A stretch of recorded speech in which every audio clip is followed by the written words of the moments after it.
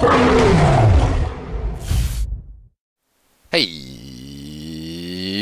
everyone, and welcome to our Player Spotlight. Today we'll be covering Cognitive Gaming's Barracuda, who is their Hunter player, and we'll be highlighting his AMC gameplay. This was in the last tournament with over the last weekend here uh, in the early rounds. We'll watch one in the later rounds as well up against Snipe Gaming just to highlight how he plays the character. Now I wanted to do this uh, for two reasons. Number one, I wanted to do a Hunter uh, for the next spotlight. I also wanted to show AMC because I feel like a lot of people like this character or want to like this character, but have trouble figuring out how to play him correctly or figure out what his strengths and weaknesses are. And I think Barracuda recently picking him up and playing him with with his own playstyle is an easy way for you to figure out how to play the character, how to build your own playstyle, and hopefully by watching him Barracuda, you'll be able to figure out how to play the character yourself. So let's cover quickly, you know, how he plays him, how he goes about doing this as he kind of comes over here to harass. The first thing to look at is the skill build because that sets the pace for the whole laning phase and how you control the character overall. The skill order for levels 1, 2, and 3 for Barracuda anyway is he picks up the Swarm, number 2, at level 1. Level 2, he'll pick up the Hive, which is his one ability, and then level 3, he'll get Honey. So it is 2, 1, 3 uh, for the first three levels. After that, he maxes out Honey first. In fact, Swarm is the last thing to max out uh, for him. Honey mixed with Hive or having uh, activated at all with bees in it will do the majority of the damage out of all of his skills, excluding his ultimate.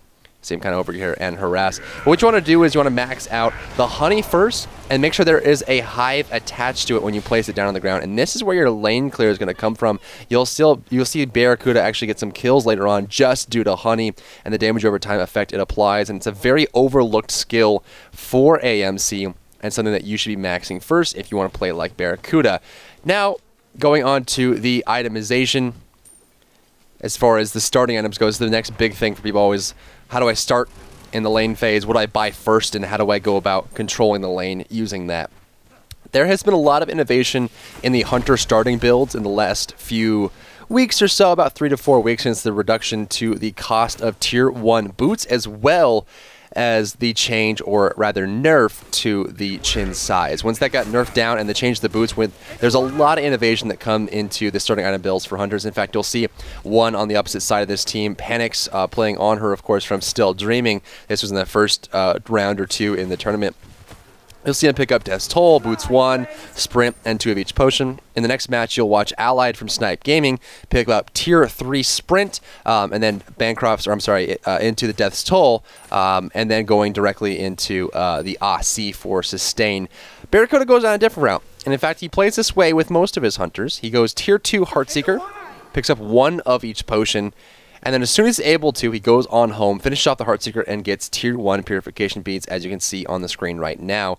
So that is going to be a big leap for him. He actually skips the Death's Toll, but he'll come back and get it. The next time he goes back, he buys Death's Toll after completing the Heartseeker, so he has to finish it earlier, gets it stacks up earlier, gets lots of damage out, and it's easier for him to trade blows with enemy characters. And of course, gets the Death Toll to stay safe in lane. Death Toll is 800 gold, and you think to yourself, it's not worth it to buy it after uh, you know the three minute mark, but it actually is 10 health and mana every time you land a basic attack on a minion. Actually keeps you sustained for quite some time. And in the current meta, where you're staying in the lane for long periods of time, that is very valuable. You see, look at the damage output he's able to do uh, with uh, Swarm and Hive, and this is just with a few stacks on Heartseeker, um, three and a half minutes of the game. He's able to clear an entire wave uh, just by placing down that Honey, and honestly, you didn't even really need to Swarm there. So that is the combo. That's the push potential. Max out the Honey, clear the wave, and then look for the farm.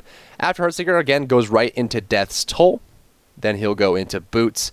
Um, and the one way that he actually uh, counteracts the low mobility of AMC, um, he'll pick up Hasten Fatalis. Now, he rarely picks this item up on any of the other characters, uh, just profiling him as a player. Uh, he does occasionally pick it up on Artemis and very rarely on Apollo, but in general, he picks this up as core for AMC just to counteract the overall damage uh, loss you'll have for not being able to be in the fight for long periods of time uh, due to your lack of mobility. So he picks it up and allows him to stay in the fight longer by just gluing to people with that Hasten Fatalis. Now, as far as laning goes, he just kind of spreads the honey when he can, makes sure that you are attaching the swarm, um, or sorry, attaching the honey to an area from a hive. If you press 3 to activate the honey, you will see an area around the hive that is uh, attached to the aura. As long as you're placing inside of that, the bees will attach the honey and do the damage over time effect, and that's your push strategy.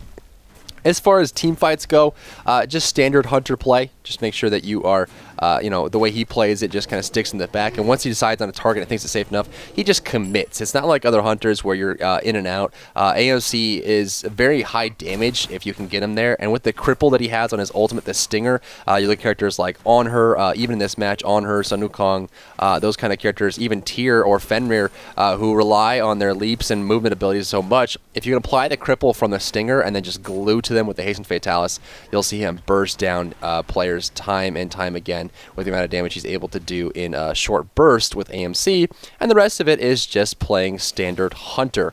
So let's go ahead and highlight a play here that shows off how much damage you can do not only with Honey, but also with the basic attacks and the Stinger as well. The Stinger has high burst damage on it, um, and hopefully by showing this play, you can see uh, the power of AMC if played properly. Okay, so at this point, he's gone back to the base, picked up the Death's Toll, now going to Boots. After Death's Toll, usually finishes off the sprint. Sprint 3 is so powerful, and he finishes it very early. There's the Hive honey combination. The whole wave should fall down there. They all are dying. Now the damage output he's able to deal with that just clears the whole wave with one honey. Uh, now go to the blue buff. Now watch how this progression goes and how much damage he's able to do and honestly how much poke he has up against a character like Anhur who is uh, very highly valued by a lot of players. You'll see Sun Wukong come from the backside here. And he's kind of staying between them. He doesn't want to get caught up as much. He finds Anhur uh, caught out. And this is exactly what I'm talking about. There's the Stinger. There's the Swarm. Honey uh, coming out there. Picks up the Stinger when he can and backs off. And this is how Barracuda plays AMC. Uh, he just finds a good spot to sit and he's never uh, half in, half out. He's, he uses the honey as a harassment. You see him doing damage there too, Sun Wukong. Look how much damage it's dealing uh, when he stands in it. It just keeps reapplying. There's a stinger for a shot, burst damage, and he took down Sun Wukong, who right now doesn't have a whole lot of defense, but definitely is a very tanky character. Look at this kill. That's just honey. Anhur just died to Honey specifically. Let's roll that back just a second here. Uh, actually, the whole thing. Initiation here on the Anhur forces him away. Looking at the minimap, he knows there's no jungler. The jungler's on the right side of the map. Once he finds an opportunity, commits all the way, sticks in their face, burst damage hard into them, um, and then once it's a lost cause, gets out. He is all in or all out on AMC. He never spends time because you can't really reposition yourself. If you're going to go in, you want to commit and do the damage because he's very high damage. But look at this. Full HP Sun Wukong standing in the honey. That's just honey. That's 56 damage every tick. There's the swarm, a few shots, and the stinger comes out right in the back. And you see Anhur here. He's at about 250 HP. Lands the honey. Anhur steps back into the honey. Desert Fury comes out. He doesn't even look at Anhur, but just the honey gets the kill on him uh, there. And that's just with uh, Heartseeker 3 and Boots 2. Uh, he's able to do that much damage with Honey and Stinger, uh, taking a 2v1 in that situation. Um, and that's basically what AMC is. And honestly, it, it, the reason AMC doesn't be uh, isn't played as much or maybe uh, isn't liked as much is because he's very low mobility and requires a different mindset uh, for play. Um, and at this point, you'll see Barracuda, uh, like I mentioned earlier, commit all the way or not commit at all. And when he does commit, he gets right up in their face and does as much damage as he possibly can to try and counteract the fact that if he, he can't, you know, get in, get out he's not built for. It. He's not Anhur. He can't jump over walls. Uh, he's not Artemis. He can't uh, pop the movement speed and CC immunity plus the stun and get away. Uh, he's not Apollo with the ultimate that can fly when he's split pushing. So if he's going to commit, he goes hard and gets the damage out. And you know. It, there's merit in that in the way that AMC can do a lot of damage very quickly if you allow him to do that. So let's go ahead and hop over into the next game here, which is going to be up against Snipe in the last tournament. All these are tournament matches. Uh, and then while we're doing that, we'll cover how his build progression goes overall and how you can end the game with AMC and, and what the itemization choices really are uh, in, in the, the late stages of this match. Alrighty, over into this next match, Snipe versus Cognitive Gaming. You'll see Barracuda do the same exact build he did in the last match, and in most matches he goes down this road. Tier 2 Heartseeker, one of each potion, kind of stays in the lane with the blue buff and relies on it heavily, uh, starting out with Swarm first, going into Hive, and then Honey, and then maxing Honey out for the lane push. There goes the Swarm coming out there. Uh, generally because the Honey won't do anything unless you combo it with Hive or the Swarm. Um, and so he goes for the swarm first for a little bit of damage to keep himself safe, harass if he can, and try to push the wave back until he's able to hit level 3 and combo the hive into the swarm, uh, into the honey, I'm sorry. So at this point, you see him Heartseeker 2, into one of each potion. He will head back, finish off the Heartseeker, and pick up Purification Beads if he can. Next back, he will go and get Death's Toll and try to finish off as much of the sprint as he can. Uh, usually, if he has the money, he will buy the entire sprint itself. After Death's Toll, he goes right into Boots to finish off the Warrior Tabi, and that's basically the way he goes in the progression. Once the Warrior Tabi is done, he'll look to finish Purification Beads or the Sprint if he hasn't already. This is where it gets a little bit interesting. Generally, he will end up going for uh, Hasten Fatalis either after Boots or two items, or uh, second item after Boots. Uh, see him kind of harassing. And here, here's a good way to highlight this. As I mentioned earlier, Allied starting with uh, Death's Toll into Sprint 3 and you'll see Barracuda doing the opposite. And in fact, Barracuda uh, at around two minutes, very, very shortly here, if we look at the gold numbers, yeah, he's about 50 gold away from finishing the Heartseeker. Uh, around two minutes and 15 seconds, he uh, averagely finishes that Heartseeker and then is able to start stacking up. Whereas Allied right now does have the Sprint 3, keeps him safe, but at the same time, he's relying on Death's Toll and will be very delayed on that Heartseeker um, for, uh, I think he gets it around eight or nine, uh, probably like seven, eight, mine, uh, seven, eight minutes is when he's able to finish a Heartseeker, whereas you see Barracuda going home already. Um, Heartseeker is complete, has no money to buy purification beads, but wants to finish it up as soon as he possibly can to make sure he is actually good to go on that one. So we're going to see him go for uh, the the Heartseeker, finish it off, Death's Toll after that, and then goes directly um, into Boots to finish it off for the penetration. That's really uh, where uh, the difference comes. You see a lot of people go into Death's Toll, Heartseeker, Asi that seems to be the most common build nowadays.